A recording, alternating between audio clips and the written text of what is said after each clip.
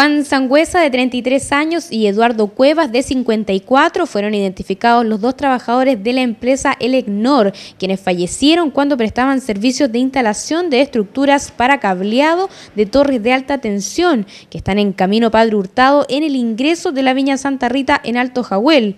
Los operarios estaban trabajando a 12 metros de altura cuando dos de las torres cedieron. En el lugar conversamos con compañeros de los trabajadores fallecidos, quienes admitieron que si bien existían medidas de seguridad, la excesiva rapidez en la construcción de estas torres fue la detonante del accidente.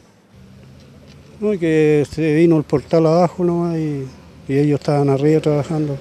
¿Contaba con las medidas de seguridad correspondientes? Todas. Sí. ¿Y por qué se produce este accidente entonces? No sé, pues se vino, estábamos subiendo una vara y se vino abajo. Estaban los, los, los pilones que le llaman un poco inestables. Entonces eso tiene que decir que se llevó los kilos, eran muchos kilos comparado a lo que había abajo. Presión de la jefatura también eh, hacia los trabajadores. Mucha presión para que trabajaran los implementos de seguridad, los tenían todos, pero la jefatura exigía rendimiento y todo que fuera rápido. ¿Exigían la rapidez Sí, entonces? mucho puro. Mucho puro. Quería puro rinde, rinde y nada de seguridad, no querían que firmaran charlas los jóvenes, ninguna cosa. ¿Cuál es el nombre de la empresa? El ERNOR. Ya, pero usted no, entonces no tiene nada que ver con la Viña Santa Rita. No, nada No, que ver, nada nada que que ver, nada que ver con la viña. Interno. Una interna. externo, entonces Sí, la rapidez fue entonces la causa que ustedes dicen. sí, del mucha presión de la jefatura. Sí, eso sería. Trabajadores de Elecnor denunciaron ciertas irregularidades por parte de la empresa y comentaron un accidente que ya había ocurrido en el mismo lugar. Eh, Lo que pasa es que a nosotros hace poco igual, hace como un mes atrás se lo accidentó el capataz. Y nosotros lo que le exigíamos un poco a la empresa que eh, forma, o sea que sea más rápido, que llegaran ambulancias, nosotros le, le- le dijimos que en, en el trabajo, en el sector, no sé, pues donde están las maquinarias, pusieran una ambulancia.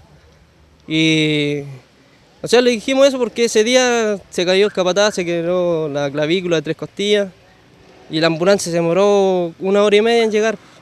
Igual él estaba tirado en el piso ahí esperando una hora y media con las costillas. O sea, nosotros no sabíamos qué es lo que tenía, pero sentía harto dolor él.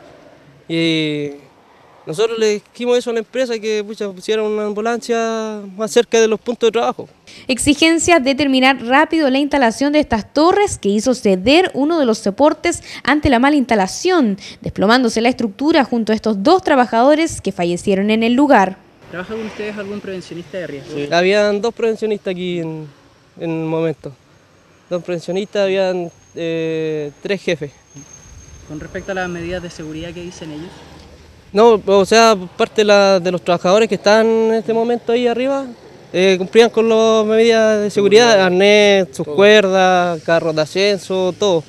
Fue más nada que el- la estructura que se dieron y, y el apuro, el apuro que los exige aquí en este momento los supervisor, el capataz que anda ahí a cargo, los mexicanos eh, llegan a presionar mucha- y esto por causa del apuro de ellos muchas pasan estos accidentes. Los portales no estaban bien Disculpa, tampoco. ¿esto se dio por la calidad de los materiales o por la mala instalación de esto? Eh, fue por la mala instalación, Instalación. faltaron tirantes y Porque andan demasiado apurado, apurando a la gente, entonces no se puede hacer las pegas bien. Tranquilo la hace uno, uno quiere hacerlas tranquilo, pero no puede porque andan siempre encima de uno. Entonces apurándolo, entonces no se puede.